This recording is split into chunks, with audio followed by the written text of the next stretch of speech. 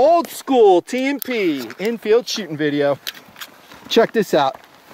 Got a 226 sitting there. Cerakoted and Patriot Brown. I need some inset footage for that for other tabletop reviews. You can definitely see the lineage crosses over, right? Yeah, and it's it'll be fun shooting them back to back, you know.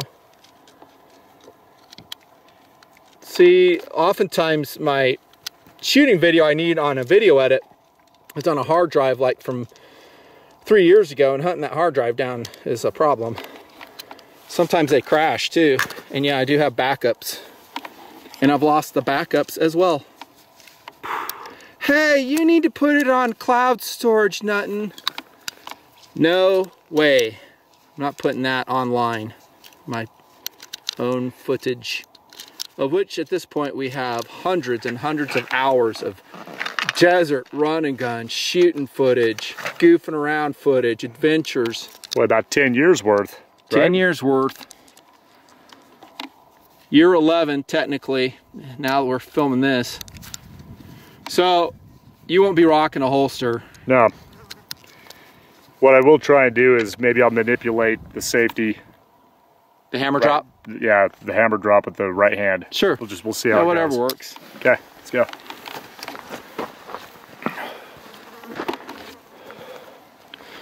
My LBE carefully placed on the dirt as usual with my defensive Glock 17. And you wonder why everything gets so dirty. You excited about this? I'm excited. This is gonna be cool, man. I'll tell you what, it's smooth, dude.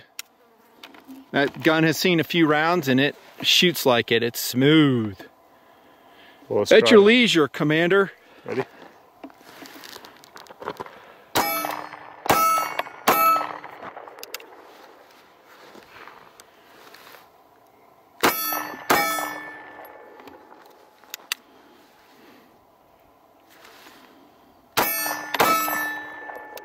No doubt some lefties are going to give you their technique. Hey, you need to drop the hammer with my technique. That I'm never all, happens in YouTube, does it? I'm all ears. What if there's a thousand comments on it? Are you still all ears? I don't think so. Roger that. Gotcha. How are you digging it? I like the gun. It's really, really smooth. Here comes a butt. Non-double action. The double action is long and heavy. Really yeah. long and heavy, but single action, it's really, really smooth. Really nice. Really nice to shoot. Sights aren't even bad either. Sights are pretty good.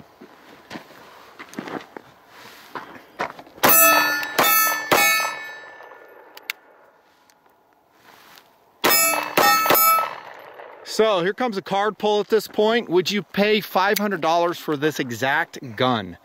TNPers. Here, you film, I'm loading. Okay. Would you pay $500 for this gun? What do you think the results are going to be, Jardine? I'm gonna shoot some now. I think uh, the majority of people are going to say because it's a SIG. Huh? I think the most people will say because it's a SIG and because of the history to the gun, they would pay $500. I'm going to say it's going to be 70 to 75 to 80% yes, they would spend $500 on this majority Majority will be yes. I think it'll be a high majority. With a P6 where it is now and how rare it is, collectability, specialness, yeah. Do you have that other mag? In the dump pouch. Okay, thank you. So this doesn't have the old European heel catch on it, which is nice. Although when I shot those, I never really minded them that much. When the SIGs first came in, a lot of them, like the 220s, had heel catch magazine uh, releases. It wasn't a push button. Like the uh, Ruger, the European like, one. like the old, like the Ruger, like the, I don't, what do you mean heel catch? Like out of the, like the, out of yeah, the bottom so it's just the... right here. So you, you know, hit it right okay. here. Okay. I mean, I much prefer a push button, but you know, this actually is a freaking pretty much a collectible, right? That's right. Let's yeah. go barricade. Let me try a long shot with this okay. sucker.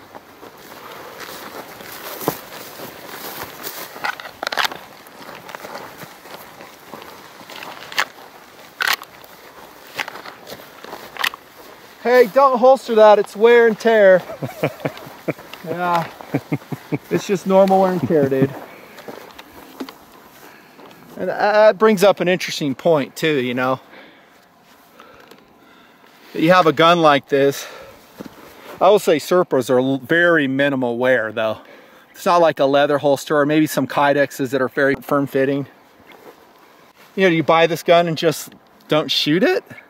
Is it that special? To some people it might be. I don't think I wouldn't I wouldn't consider that a safe queen. No. I wouldn't either. I would shoot That's it. a shooter. Okay, I'm gonna go double action first, dude. Hit.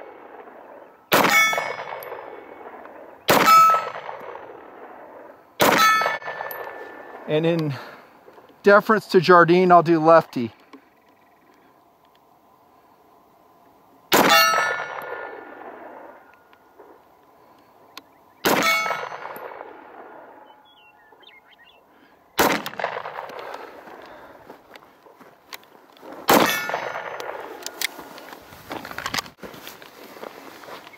Check out the rad watch. It's a 1964 production. Russian made and refurbished mechanical. Luftwaffe commemorative. And it makes me happy. Just like this gun makes me happy. It's freaking awesome. This gun is rad. The question I have for guys watching though is that like if you're a SIG collector the downside of shooting this is you're freaking loading up all the time. Yeah, eight rounds isn't much. Eight plus one, dude, yeah. you load, load, load, unless yep. you have a bunch of magazines stored up. That would make sense, but my, my point is, if you have a SIG collection with a bunch of SIGs, how often would this be shot? Probably not very. You'd probably go with a 226, maybe 229, mm -hmm. P228. Oopsie. Roll over prone. Hit.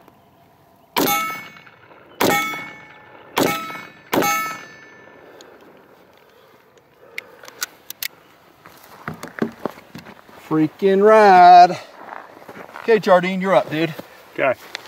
I love shooting that gun. It's just so smooth, superbly accurate dripping with all kinds of cool history. Kind of a Cold War era gun. The end of the Cold War. If somebody's gonna buy this gun, how hard would it be to find magazines, do you think? Oh, you find them. It's just 225 mags. They're all over the place. So TNPers card pull between these two guns, which do you buy? The coated TNP 226 or this uh, P6 aka 225. Uh, I don't know how that one's gonna go. Nah, I'm not even gonna hazard a guess. I'm gonna I'm gonna say two two. I would go two two six personally. I really like that gun. I I, I would go two two six because it's go to war ready, dude. You know what though? You couldn't go wrong with either one. If you if you if you're just buying a nine millimeter sig, you just want a nine mil sig. You're looking at this P6 for its uh, collectability kind of the second kind of cool. Right. Makes you happy to shoot it. Yeah, both make me very happy to shoot. Love shooting both of them. Uh, you know, 226 is more of a GTW gun for me. Mm-hmm.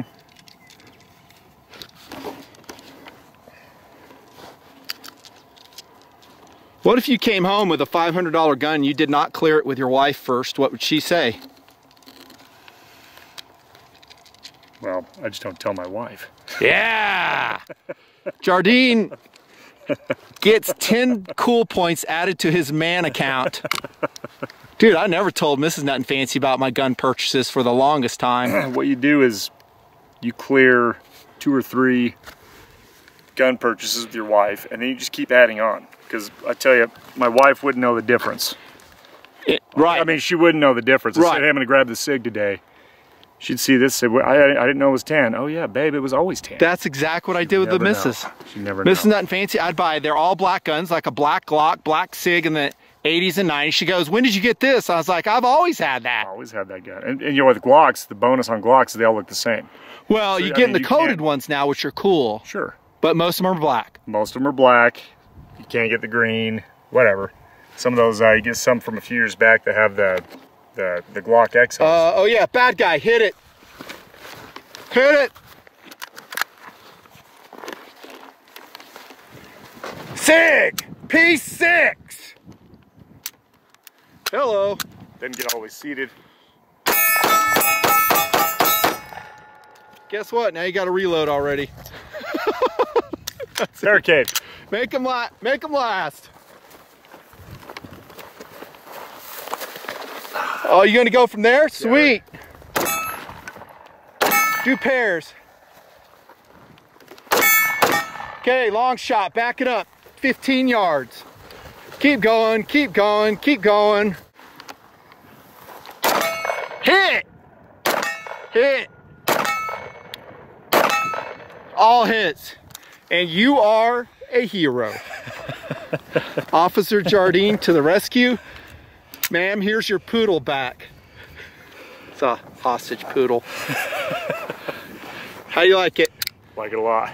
It's freaking cool, like yeah? It, it's really cool. The second cool coming off of this thing is on the high level, so I'd buy it. If I'd buy it, 500 bucks, I would buy that gun.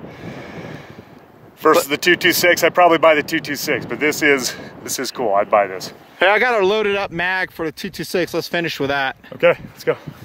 Hammer drop. There you go. That's the only thing to remember on a SIG. Before you holster, hammer drop. Because that's a light single action. This is. All you. So here we go with the big Mamma Jamma. Kicked that off. TNP, Warrior pistol. Still awesome.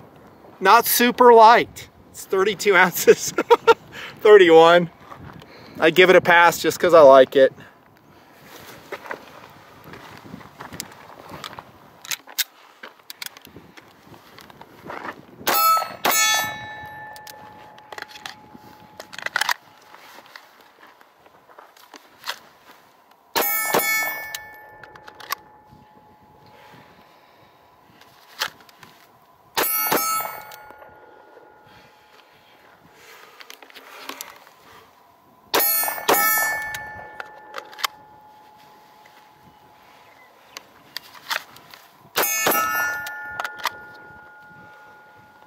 It's not super great training to come fast back into the holster, but I'm just practicing getting it in the holster. Usually you want to be slow coming, bringing the gun out of action. Fast into action, slow out of action. One thing I do, and I don't really realize it, and you'll see when I shoot, is I kind of crouch. so I'll bring it out, and it's like, and I don't know why I did. I like it because it kind of lowers my center of gravity because I'm tall. And, and if I'm shooting a high recoil gun, it sets me up for that. So mm -hmm. I kind of hunch. And then if you see me shoot a really high recoiling gun, I, I actually kind of bring my arm out straight and it allows me to do it. A nine's nothing.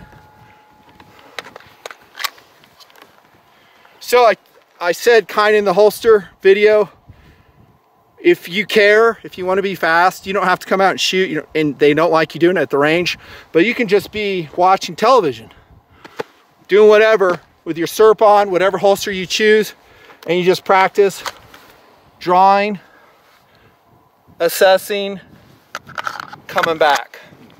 Now, I'm not super fast because we're changing holsters, true or false? True. So like we'll shoot a gun, different holster, different placement, so my muscle memory isn't really dialed into this one close. Not really dialed though. And then once you practice, come out and do it for real.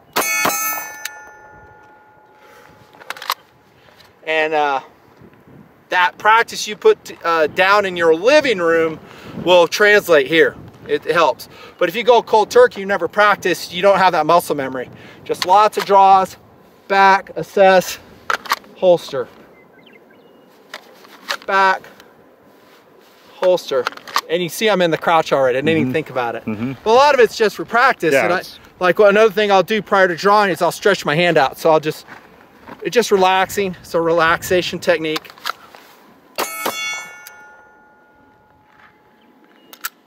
Freaking SIG 226, dude. Sweet. Woo! Still Sweet awesome and even more awesome in the Patriot Brown. yes. Second cool, first cool, baby. Right, Jardine? Awesome gun. You want to shoot this? Yeah, let's shoot it. Atta boy. Video goes on, by the way. Video goes on. Poor Jardine was cursed for being a freaking uh, lefty. I tell you. Hey, Nutnfancy. I'm a lefty. I'm sorry, bro. Well, it's it's good for you in sports, not so much in Yeah, the it handgun is. world. Well, uh, just in the gun world, it's more expensive Yes, it is. because Mine, uh, there's a lot less versions of the guns you like in left-handed versions. and you know, like all my AR-15s, I've had to outfit to be left-handed, so or ambidextrous.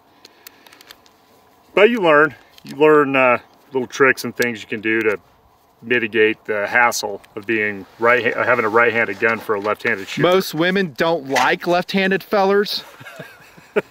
Dude, what are you laughing about? All the right-handed guys get all the hot women. You know this to be true. Not my. Don't show this to your wife, by the way. Not my experience. Kidding. Totally kidding. 18. Ready? Are you ready? I'm ready. Let's shoot this. Okay, started out at the barricade. Actually, just right here. Let's do. Let's stay close. It's funner that way. Now, At your leisure, Commander. I'm gonna just stay at low ready. Yeah, sounds good. Right? Now, we decided today not to do whistle. You might be wondering. We just made that decision on today's shoot. We're not doing whistle, just kind of self-paced shooting. Mm-hmm. Okay, there we go.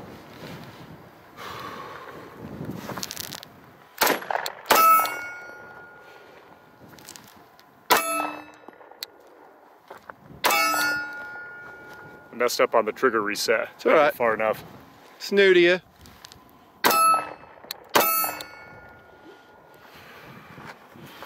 We do a lot of messing up out here.